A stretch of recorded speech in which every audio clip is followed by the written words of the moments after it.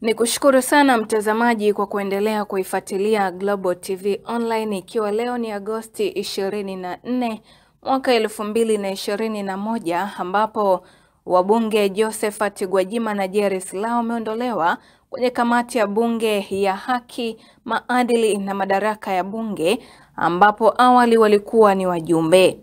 Kamati ambayo wabunge hao wameondolewa ndiyo inayowahoji kuhusu tuhuma mbalimbali zinazowakabili ambapo siku ya jana Gwajima alifika mbele ya kamati hiyo na hii leo Slaa naye anatarajiwa kufika na kuhojiwa.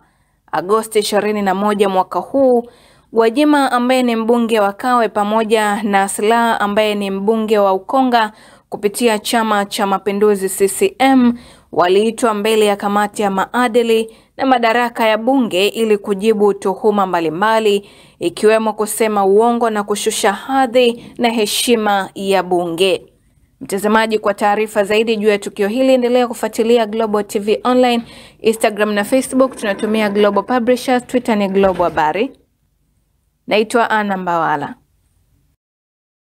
Nyaishozi College of Health and Allied Sciences, chuo bora cha mafunzo kwa vitendo katika fani ya clinical medicine kilichopombweni jijini Dar es Salaam, kinatangaza nafasi za masomo kwa wahitimu wa kidato cha nne na kidato cha sita katika fani ya clinical medicine kwa mwaka wa masomo 2021. Mwombaji awe na ufaulu wa angalau alama D wa masomo ya physics, chemistry na biology ya kidato cha nne. Mwombaji anaweza kujisajili kwa kujaza fomu za maombi kupitia tovuti ya chuo ya www www.nyaishozi.com au mwombaji afike mwenyewe chuoni Mbweni, Dar es Salaam na asaidiwe jinsi ya kujiunga. Ada ni nafuu sana na huweza kulipwa kwa awamu nne. Hostel zinapatikana bure.